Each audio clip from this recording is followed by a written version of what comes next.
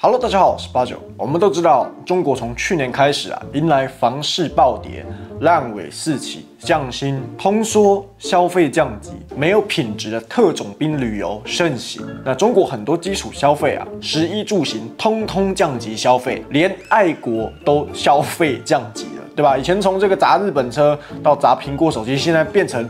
倒矿泉水，尤其是吃的方面啊，不少外卖员从去年年底就表示，大部分的外卖金额啊，明显比去年少了十到二十趴不等，而我们赚到的钱呢，更是有八毛、一块、两块这种荒唐的数字。自我的底线呢是八毛钱一单，大哥蛋，跑了五个小时就挣五十块钱，还咋干呀？而中国各地也出现了很多这种一元啊、两元、三元的面包店四起，对吧？那穷鬼套餐这个词啊，也成为今年的热门话题。从小红书啊、抖音等平台，我们可以发现啊，各种的穷鬼套餐推荐，最热门的前三名是什么？麦当劳、肯德基、红豆，只需要四块钱的穷鬼拌饭，哪里还有羊毛可以薅啊？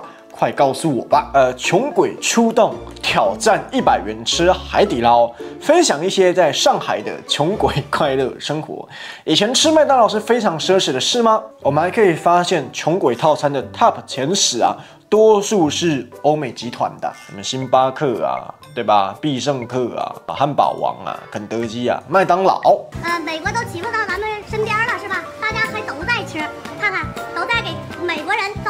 那下面还有一个中国网友，他就分享。他花了三块钱人民币，也就是十三块台台币啊，到了一家店点了一个可以免费续的白饭，而且啊，这个店内的海带汤是免费的，那附上这个小泡菜啊，就这样吃饱了一顿。而且说实在话了，长期这样吃身体会坏掉，没有任何的蛋白质。这个泡菜啊也是用腌的，有大量的亚硝酸之类的，而且你的这个白饭又是这个淀粉，精致淀粉，那你也缺乏了维生素。身体真的会坏掉的。那例如我们看到像麦当劳啊，那当初啊，他们也推出了一个叫做一加一套餐的，只需要十三块点九的人民币换算就是六十二块台币的，你就可以买到我们一加一的套餐。那里面像是这个汉堡、鸡块等主餐，搭配一个饮料。那讲到这里，我们台湾人应该心有戚戚焉，对吧？因为这个所谓的一加一那个爱心卡。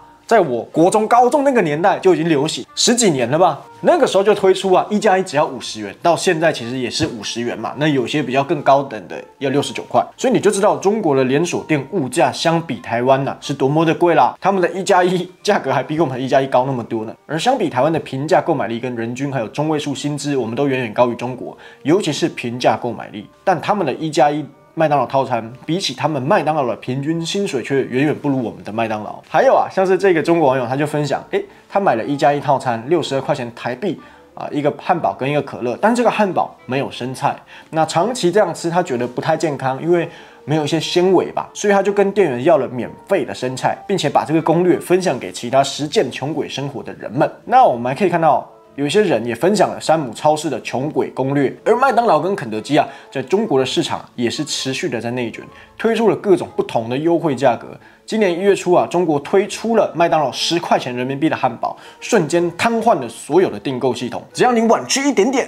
即便在现场，你也是买不到的。中国的网络上就流传了一句话：周一麦当劳趁免费麦乐鸡，周二去打斯丁享受买一送一，周三在达美乐体验七折优惠，周四感受肯德基的疯狂星期四，周五啊汉堡王有半价工作餐，周末再去来华士，下周咱们再从头来过。那比起台湾的状况，我目前没有明显感受到。包含我身边的朋友啊，那些吃喝玩乐是降级消费的。包含我弟周边的朋友，我弟比我年轻五岁嘛，那边的年轻人我也没有感觉到他们的消费降级。而更多的大型海外餐饮集团啊，也扩大在台湾投资，各种高级餐厅订不到位置。我相信这个从疫情开放之后就是这样的状况，连去机场都是大排长龙。那这个相比在中国的北京跟上海的机场，跟他们以前那种十几年、五年前的盛况，真的是差距非常的大。那当然，物价涨、电价涨、油价涨，谁都会抱怨。欧美国家只要有涨，全部都会抱怨，这是人性。但是一个社会啊，它有经济的活动，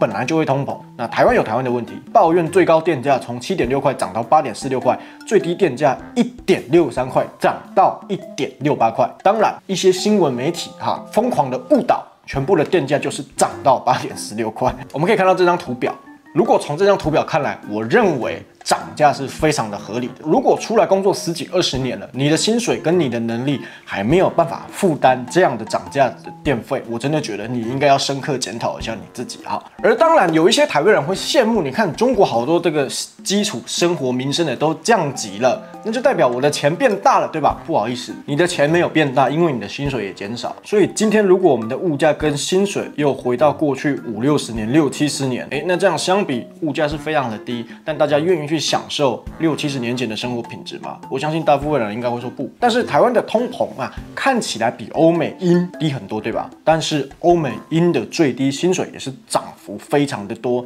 幅度大于台湾啊。不过啊，我去年到了。美国跟欧洲各国观察的时候啊，发现欧美街头的流浪汉数量是远远高于台湾街头的。但我觉得这个跟中国小粉红洗地的方式不太一样，因为中国的流浪汉你也知道是有党刻意安排不让你在一些观光大城市出现的。但是在欧美，在台湾，我们警察并不会恶意去驱赶你啊，比如说你为什么要在一零一附近呢？要让咱们台湾丢人现眼呐？或是你为什么要在洛杉矶 downtown 那边啊让我丢人现眼？不会。而在美国啊，我从拉斯维加斯。开了快一千公里，应该是一千多了哈。到旧金山的路程中啊，看到非常多的帐篷，或是租露营车，全家睡在上面，睡在这个小街上，或者是这个社区街道旁，一堆露营车排排站，非常的多。像我在美国走高速公路的时候啊，高速公路上面会有一些桥，那些桥可能是其他人的呃一些社区啊什么的那些区域，那那个桥上面就有很多的露营车跟帐篷，那这些人呢，就是连房租都负担不起。更不用说买房了。那我们可以看到，从不吃不喝买房的数据看起来啊。明显美国比台湾低非常的多，但为什么美国住在市区在桥上的人数呢？租露营车的人数是越来越多，而在台湾你还看不到这种状况，原因是什么呢？我现在说的不是住在犹他州或是亚利桑那州那种租露营车，然后有那个滚草在动那种很可怕的大荒野，我不是说那种，我就在跟你说加州洛杉矶旧金山之间的那个距离，好多人都是住在啊什么露营车帐篷啊，因为我是自驾游啊，所以我看到非常多这样的景色。而且啊，一天内要开一千多公里啊，都会下高速公路去找加油站，去找地方吃吃喝喝，去休息，去小睡一下，那就会开到社区，开到社区就会看到非常多这样的装状况。所以其实每个国家都有自己国家的问题所在。而台湾的状况啊，是许多投资进来，股市大涨，那基础行业缺工；而中国则是股市一蹶不起，外资部分撤离，减少规模，那基础行业内卷，争取工作机会，而没有任何基础门槛的外送员呐，也成。为了中国近几年的热门职业，我们可以看到送外卖的人数啊，似乎已经比点外卖的人多了很多，对吧？不是在抢单，就是在休息。那这就是当一个市场的行业饱和了之后，大家又在抢着做，那自然赚到的钱呢就会越来越少。而中国的 M 二货币啊，已经高达了一千三百二十七兆，超过了十年来 G 七国家跟美国的总和。三月底的 M2 啊，也突破了三百兆人民币，超过了美国跟欧元区一月底的 M2 总和。那中国不断的在增加货币供给，始终刺激不了民生经济，这是什么原因呢？而不断的增加货币，按理来说应该会通膨，但是为什么往通缩走呢？而这些印出来的钱。跑去哪里了呢？跑去中共企业了，对吧？跑去金楚建设了，对吧？跑去烂尾楼身上的，对吧？跑去中国官员在海外银行或是洗钱的地方，对吧？所以我不知道贵国这到底在冲。而有一个中国网友他爆料啊，我们这三年来啊，咱们的县长一直被人打，那被人打就要赔钱。他这三年来啊，光赔了钱已经超过一千多万。这是否是最新的洗钱手法呢？我只要安排一些人啊，假装打我哦。轻伤就好了，然后你就赔我一堆钱，那那些赔我的钱就合理变成这个正当使用的钱了。那如果真的是这样的话，我觉得中共是越来越会玩了。哎，你只要打官了，你不仅啊，你可以把这个贪污来的钱呐合理化，变成正当的赔偿金。另外一方面，你会你会让民众觉得，哦，我们人民是有对付官的权利喽，比欧美国家进步喽，一举两得。那还有啊，回到我们台湾内政的问题，有国民党的立委。卢宪一跑去中国广西参加三月三的活动。广西三月三呢，是每年的广西自治区的民族活动。农历的三月三号跟三月四号会放假。而昨天台湾立法院举办了年金改革法案复议，对吧？而这位卢宪一呀，身为台湾的原住民呐，我上面看是卢凯族跟台湾族的混血啊，他却跑去了中共国的广西参加了当地的民族活动，大喊两岸一家亲等等，中华一家亲，中华民族哈。